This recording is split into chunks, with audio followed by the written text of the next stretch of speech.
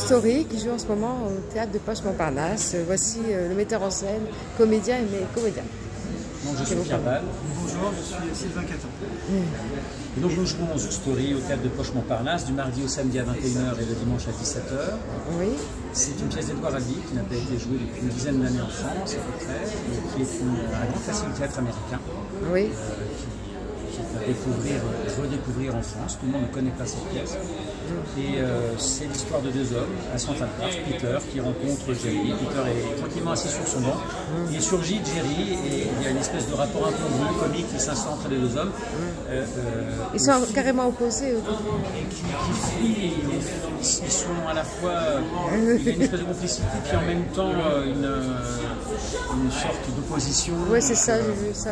De fil en aiguille, on est pris par les récits que fait Jerry de sa vie à Peter et, et tout cela, on part dans une espèce de spirale et est-ce que Peter, euh, voilà, comment il va peut-être se sortir de cette spirale?